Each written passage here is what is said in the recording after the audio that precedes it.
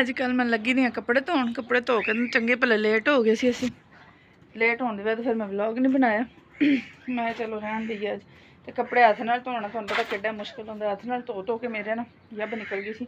ਠੰਡ ਫਿਰ ਰਾਤ ਨੂੰ ਇੰਨੀ ਲੱਗੀ ਮੈਨੂੰ ਜਿਹਦਾ ਕੋਈ ਹਿਸਾਬ ਨਹੀਂ। ਫਿਰ ਅਸੀਂ ਅੰਡਾ ਬੋਇਲ ਕੀਤਾ, ਅੰਡਾ ਖਾਦਾ ਫਿਰ ਜਾ ਕੇ ਰਾਤੀ, ਫਿਰ ਵੀ ਰਾਤੀ ਸਕੂਨ ਨਾਲ ਨੀਂਦ ਨਹੀਂ ਆਈ। ਸਵੇਰ ਜਾ ਕੇ ਕਿਵੇਂ ਥੋੜੀ ਜਿਹੀ ਨੀਂਦ ਆਈ। ਫਿਰ ਅਸੀਂ ਆਰਾਮ ਨਾਲ ਸੁੱਤੇ। ਤੇ ਹੁਣ ਜਾ ਕੇ ਜਦੋਂ ਸਵੇਰ ਸਵੇਰ ਉੱਠੇ ਆ, ਉੱਠ ਕੇ ਅਹਿਮਦ ਦਾ ਪੇਪਰ ਸੀ। ਅਹਿਮਦ ਨੂੰ ਸਕੂਲ ਛੋੜ ਕੇ ਆਈ ਆ ਆ ਕੇ ਘਰ ਹਲੇ ਕੰਮ ਕੋਈ ਨਹੀਂ ਸੀ ਕੀਤਾ। ਫਿਰ ਘਰ ਜਾਣਾ ਸੀ, ਉੱਥੇ ਇੰਜੈਕਸ਼ਨ ਲਾਣਾ ਸੀ, ਉਹ ਲਾ ਕੇ ਆਏ ਆ ਆ ਕੇ ਤੇ ਹੁਣ ਆਈ ਆ ਹਲੇ ਘਰ। ਤੇ ਹੁਣ ਮੈਂ ਕਿਹਾ ਥੋੜਾ ਜਿਹਾ ਵਲੌਗ ਬਣਾ ਲਈਏ।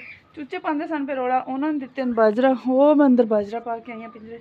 ਆਪ ਮੈਂ ਇੱਥੇ ਥੋੜਾ ਜਿਹਾ ਵਲੌਗ ਬਣਾਈਏ ਥੋੜਾ ਗੰਦ ਛੁੰਦ ਪਏ ਇਹ ਕੱਲ ਲੱਕੜੀਆਂ ਆਈਆਂ ਸਨ, ਸਾਡੀ ਉਹ ਦੇਖੋ, ਛੱਤ ਤੇ। ਉਹ ਕੁਝ ਲੱਕੜੀਆਂ ਸਨ। ਰੱਖਿਆ ਤਾਂ ਗੰਦ ਪੈ ਗਿਆ ਤੇ ਹੁਣ ਮੈਂ ਝਾੜੂ ਝਾੜੂ ਲਾਣਾ ਝਾੜੂ ਲਾ ਕੇ ਫਿਰ ਹੋਵਾਂਗੇ ਵਿਹਲੇ, ਬਾਕੀ ਕੰਮ ਕਰਾਂਗੇ ਬਾਅਦ 'ਚ। ਇਸ ਵਾਸਤੇ ਜਿਹੜਾ ਨਾ ਝਾੜੂ ਲਾ ਕੇ ਹੋ ਜਾਈਏ ਵਿਹਲੇ। ਠੀਕ ਹੈ, ਫਿਰ ਕਰਨੇ ਤੁਹਾਡੇ ਨਾਲ ਗੱਪਸ਼ਪ। ਤੇ ਫਿਰ ਤੁਸੀਂ ਦੱਸਿਓ ਤੁਹਾਨੂੰ ਵਲੌਗ ਕਿਹਦਾ ਲੱਗਾ ਲਾਈਕ ਕਮੈਂਟ ਸ਼ੇਅਰ ਕਰਿਓ ਚੈਨਲ ਨੂੰ ਸਬਸਕ੍ਰਾਈਬ ਕਰਿਓ। ਅਗਰ ਨਹੀਂ ਕੀਤਾ ਤੇ ਜਲਦੀ ਜਲਦੀ ਜਿਹੜਾ ਨਾ ਸਾਨੂੰ ਸਪੋਰਟ ਕਰ ਦਿਓ। ਠੀਕ ਹੈ, ਹੁਣ ਅਸੀਂ ਕਰ ਲਈਏ ਆਪਣਾ ਕੰਮ।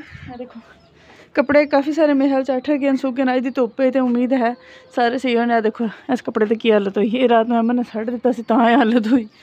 ਇਹ ਦੇਖੋ। ਠੀਕ ਹੈ ਤੇ ਦੂਸਰੇ ਨੰਬਰ ਤੇ ਮੈਂ ਜਾਣਾ, ਅਹਿਮਦ ਦੇ ਦਾਦੂ ਦੇ ਘਰ।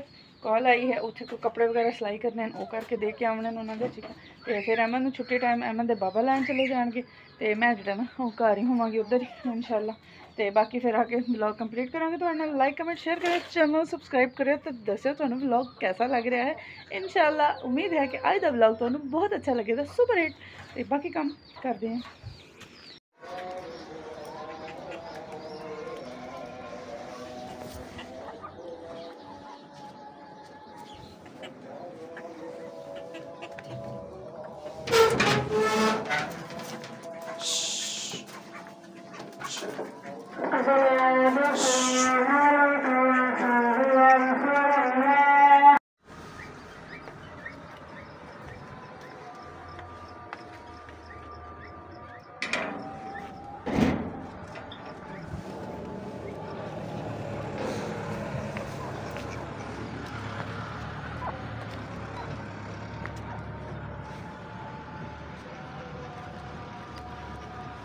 future.